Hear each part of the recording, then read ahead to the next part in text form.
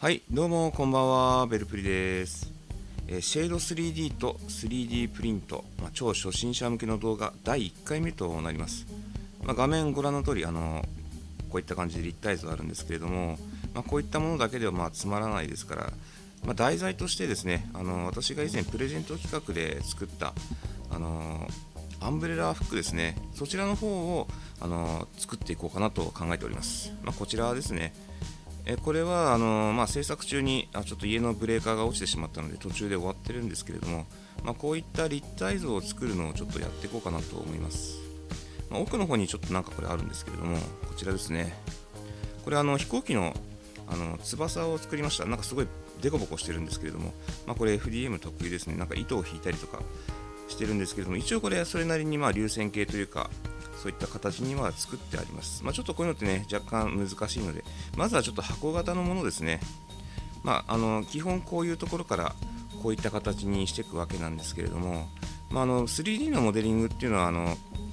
結果は一つでも、まあ、そこに行き着く方法っていうのがまあいくつかあるんですよ。まあ、それをあの今回私なりにちょっとやってみようかなと思います。目的とする形はこちらになりますね。まあ、今回、超初心者向けということですので、まあ、10分程度の動画でここまでちょっと持っていくのは無理がありますので、まあ、3回ぐらいに分けて、えやっていきたいと思います。まあ、今日第1回目の目的というか、まあ、目標はここまで持ってきますね。この字の、ブロックをまあこの字にするとこまでです。で、第2回目で、このような感じで、そのこの字にしたブロックに対して、まあ、面取りをつけて、まあ、形をまあ作っていくというところですね。第2回目で。で、3回目で、あのーこの4箇所、まあ、ネジを止めるための穴が必要なので、このネジを、ネジ用の穴を開けるっていうところですね。まあ合計3回でやっていきます。えでは早速やっていきたいと思います。でまずはですね、こちらのファイルを押して、まあ、新規シーンっていうのがありますので、こちらをクリックします。今ちょっとあのキャプチャーの方の都合であの出てないんですけれども、すいません。私の方はこの辺にいろいろメニューが出てるんですが、あのファイルを押すことによって一番すぐあすぐ下にあの新規シーンというのがあるので、そちらを押してください。そうすると、まっさらな何もないこういった画面が出てきます。まあ、こちらを使ってやっていきます。まずですね、えー作成ですね。もう選択されてます。作成をクリックしてもらって、次に形状のところ。こちらですね。まあ、一般、自由局面、ポリゴンとあるので、まあ、ポリゴンを選択します。次に、えーこちらですね。あの、直方体形状を生成という、そこをクリックしますね。この、まあ、四角い、あの、サイコロみたいな、あの、コマンドをクリックします。そうすると、あの、下の方にこのツールパラメータというものが出てきます。まあこちらで何をするかというと、これから作るそのモデリングのま大きさ、サイズですね。サイズや位置、あとその作られたモデリングをどのようにま分割するかというのをこちらのこのツールパラメータで決めます。まあ、通常あの分割の方は、まあ、あらかじめ分かっていればあの分割してもいいですし、まあ、今回はあの特にその必要がないので分割はしません。ま、この辺の使い方もね、あの後々やっていこうかなと思います。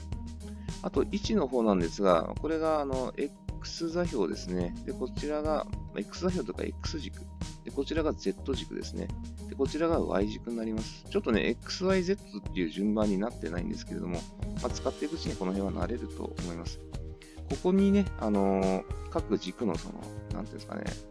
えーマニピュレーター、まあ、統合、こちら、統合っていう風になってるんですけれども、まあ、要はあの各軸を表しているこの、まあ、青い方がこのラインですね。で、赤い方が X でこちらのライン。で、今、Z 方向は見えてないんですけども、こちらの方に、まあ、あ、すいません、Y 方向がこちらの方にありますね。X と Z と、あと Y です。まあ、そちらの、えーまあ、位置をあのこちらで決めることができますね。通常000であまり気にしなくても大丈夫です、最初のうちは。まあ、次に作るもののサイズですね。まあ、今、200、200、200と、まあ、200ミリ角ですね。でこのままあの確定を押すと、そのサイズのものが出来上がります。まあ、ちょっとちっちゃく見えちゃうんですけれども、まあ、スケール的にね、あのこちらの、えー、二重丸を押すと、まあ、拡大してくれますね。あとはあのホイールを使って、あの見やすい位置に変えてみてください。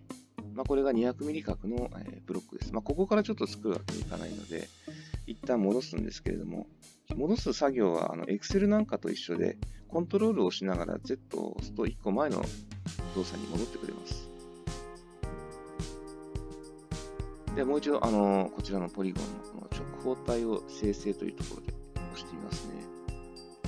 で、先ほどのあのサイズの方が残ってます。200、200、200で。で、あの、今回作ろうとしているもののサイズが、まずはこの X 軸側の方ですね。こちらの方、え、27mm です。27と入れます。次に、こちらですね。こちらが、まあ、奥行きになるんですけれども、そちらの方のサイズが 5mm になります。で次に高さ方向。これが 40mm ですね。200、200に比べると、まあ、かなり小さいものになるんですけれども、入力すると、それがこちらの方にできました。まあ、ちょっとか、まあ、この後確定をして、小さいので、この二重丸のところを押すと、まあ、近くまで行きます。あとはホイールを使って、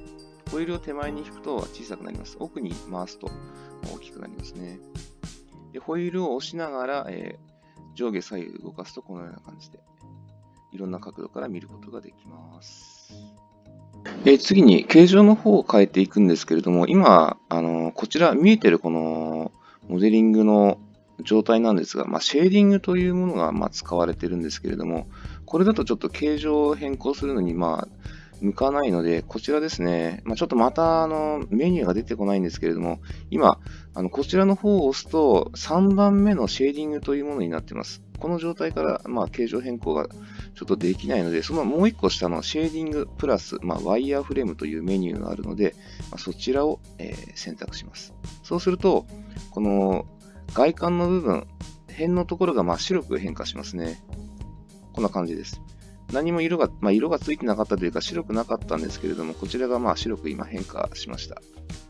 で次に、ま、形状変更するので、この今オブジェクトとなってるんですが、こちらを、まあ、あのまた変更します。今、あの、一番、こうまた、ここにサブメニュー出てるんですけれども、まあ、オブジェクトの下に形状編集というものがあります。その形状編集を押します。それを押すことによって、今、あの、辺が白くなってるんですけれども、青に変化しますね。このようになりました。青くなりましたね、周りが。で、このあの面のところに持っていくと、まあ、ちょっと黄色く変化したりとかするんですけど、まあ、この状態で初めてその形状をいろいろ変えていくことができます。まずはこの字型にするために、こちらですね、ここを少し延長します。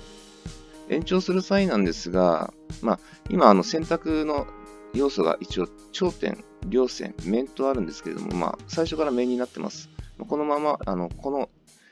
右端の方の面を選択しますね。そうすると、ここにあのそのマニピュレーターっていうものが出てくるんですけれども、まあ、これであのどういった動作をするかを決めます。まあ、今延長したいので、この三角コーンみたいなやつですね。この X 側の方をま延長するので、この同じ色の赤のこの三角コーンのところをドラッグドロップします。そうすると、このような感じで延長することができますね。大きくすることもできますし、まあ、このように押し込むことで小さくすることもできます。まあ、延長する方法にもまあ2種類ありまして、まあ、今みたく、ここをまあドラッグドロップで単純に、単純にというか、あの普通に伸ばしていく方法と、あとは、ここに対してもう一つ、あの、ポリゴンを、あの、追加するような、まあ、伸ばし方もありますね。今回そちらでやります。まあ、やり方なんですけれども、Z ボタン、あの、キーの Z ボタンを押しながら、同じように、この三角コーンのところをドラッグドロップで引っ張ってください。そうすると、もう一つ、このポリゴンが、あの、生成されますね。今回ちょっとこれが必要なので、このやり方でやります。今、あの、引っ張った量は7.5になってるんですけれども、ちょっと8ミリ伸ばしたいんですよ。そういう時は、こちら、あの、えー、距離の方、7.5となってるんですけれども、X でやってもいいんですけど、いつも私はこの距離の方でやってますね。ここを8に変えます。で、確定とやると、8ミリになりますね。で、もともと27ミリあったものに対して8ミリ、えー、あの加算したので、えー、サイズの方がこちらですね、まあ、35というふうに変わりました。で、もう反対側もやります。それで 43mm になりますね。まあ、これ、あの、ホイールの方をあの使って位置を変えて、まあ、見える位置に持ってきてでいいです。また面の方を選択すると、ここにあのマニピュレーターが来ますので、また Z、キーの Z を押しながら、この三角コーンのところを、こちら側の方に、あの手前側っていうか、まあ、左側ですね、にドラッグドロップします。そうするとまた7.5というふうに出るので、これを 8mm に変えます。で、これで両側 8mm 延長ができました。これあの、出してるサイズによって、その、移動量がちょっと違ってくるんですね。ちっちゃくなると大きくなります。まあ、変わんない。これぐらい小さくすると、1回に動く量が 5mm に変わりましたね。で、拡大すると、まあ、小さくなるみたいな、そんな感じです。で、これで、えー、一応、両側に 8mm ずつ延長しました。今度は手前に出すことによって、まあ、最終的にこの字型にするんですけれども、まあ、やり方は一緒です。まあ、面の状態でこちらですね、ここを選択するとまたあのマニピュレーターがここに来るので、今度は Z 軸ですね。Z キーの Z を押しながら、このマニピュレーター、この青のこの三角コーンを手前にドラッグドロップすると伸びてきます。これで 12mm ですね。まあ、12.5なので、まあ、12にします。で、確定ですね。で、同じようにこちらも 12mm で引っ張ります。まあ、Z を押しながら三角コーン、この青の三角コーンを手前にドラッグドロップで引きます。で12にします。これで、えー、出来上がりました。まあ、最初の目標としてた形、こちらですね。まあ、ちょっと見え方が違うのは、そのシェーディング、こちらシェーディングのみなんですけれども、こちらはシェーディングプラスワイヤーフレーム、周りの方ですね、が表示されているので、ちょっと見方は違うんです、見え方は違うんですけれども、あの、作られているものはほぼ一緒ということですね。あともう一つちょっとテクニックとしてなんですけれども、一旦ちょっと戻しますね。これコントロールをしながら Z を2回押します。そうすると引っ張る前の段階に戻るんですけれども、またこの今オブジェクトになっているので、えー、形状編集に戻します。今ここだけが選択されてるんですけれども、できれば、あの、2箇所同時に引っ張りたいと。そういった時なんですが、まあ、シフトの、シフトキーを押しながら、まあ、今ここが選択されてるんですけども、もう1箇所選択したいところをクリックします。そうすると今、このような感じで2箇所選択された状態になりますね。これ結構使える機能なので、あの利用してみてください。複数あの選択したい場合は、今選択されている場所の他を選択したいとき、まあ、またシフトを押しながらこの真ん中を押すと、まあ、全て選択されますね。まあ、選択方法に関しても後々やっていきたいと思うんですけれども、まあ、今回はちょっと簡単にこんな感じでやります。で今、あの、すべて選択されてしまっているので、このまま全部引っ張るわけにいかないですから、まあ、どっか別なところを一つクリックすると戻りますね。今度ここだけになります。あとは、あの、今全部、まあ、選択された状態で、1箇所だけ選択から外したいとき、あの、オルトを押しながら、その選択を外したい部分をあのクリックしてください。そうすると、このようにあのそこだけ選択が解除されます。今ここも選択されているので、ここも解除したいので、オルトを押しながら選択すると、今この2箇所だけになりましたね。まあ、オルトのキーは、あの Windows ボタンの、まあ、右側にあるんですけれども、そちらを使ってください。この Shift を使ってあの選択箇所を増やす、また Alt を使って選択箇所の解除をする。これ結構頻繁に使いますので、これはあの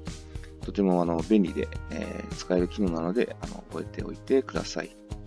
次に、まあ、引っ張る動作なんですが、これはまあ先ほどと一緒ですね。あの Z キーを押しながら、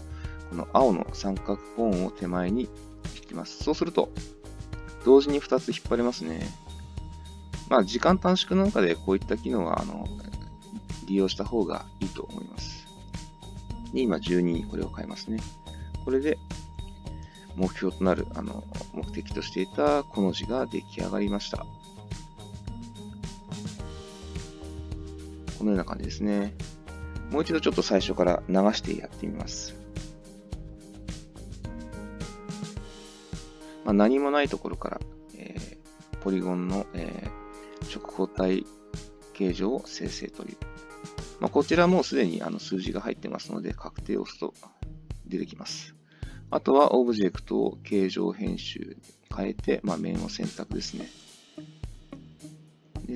8ミリにしたいので、ここを8に変えます。で反対側も8にします。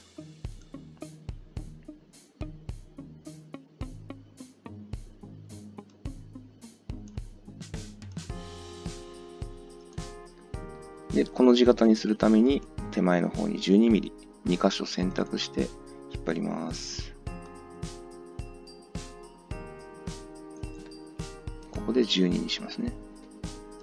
で、このような感じで。まあ、意外と慣れると簡単にできるようになります。えこのような感じで、今回はこの、この字のブロックを作るとこまでやってみました。まあ、次回は、こちらですね、あの、面取りをつけた状態に持っていきたいと思います。まあ、超初心者の方でも分かりやすいようにあの今後動画の方を作っていきますので、えー、気になる方いらっしゃいましたらチャンネル登録の方よろしくお願いいたします。えー、では最後までご視聴いただきありがとうございました。ベルクリでした。